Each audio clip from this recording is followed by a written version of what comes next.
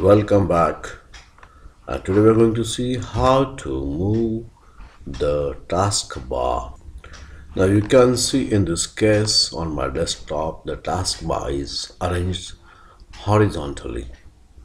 Now I want to move it to the left on the vertical side. So what I will do, I will right click first. After clicking right, I will first unlock this. Once I unlock this this is the change which you can observe. And thereafter the job is very simple.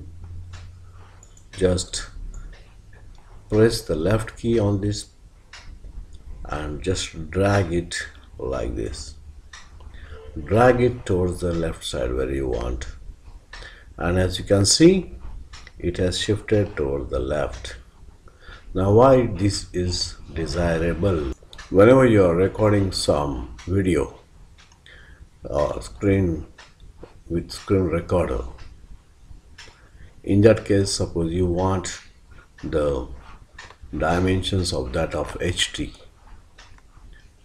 and suppose your laptop or your PC is more wider in that case if you have the taskbar arranged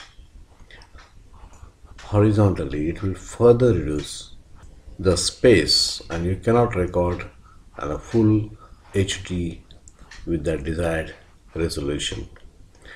In that case you would like to have little width but more height.